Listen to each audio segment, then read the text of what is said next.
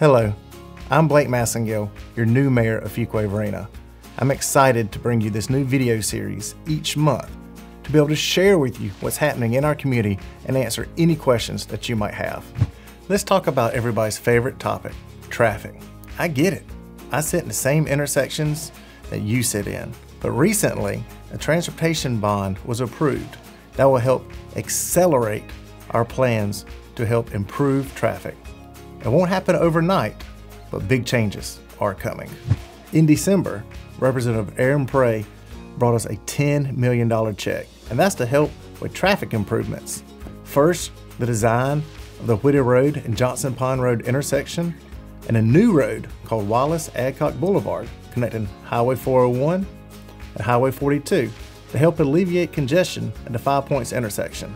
Again, design will start this year with construction starting next year. There are eight new transportation projects going into design, with construction starting next year. These projects cost nearly $18 million, with over $16 million paid by your state and federal government. These are tax savings for you. Traffic is important in our town, and your town is working hard for you. The citizens of Fuquay Varina are our customers. And recently, we kicked off a new pay study. This is so we can recruit and hire the best talent available in our town so we can provide you the best customer service experience possible.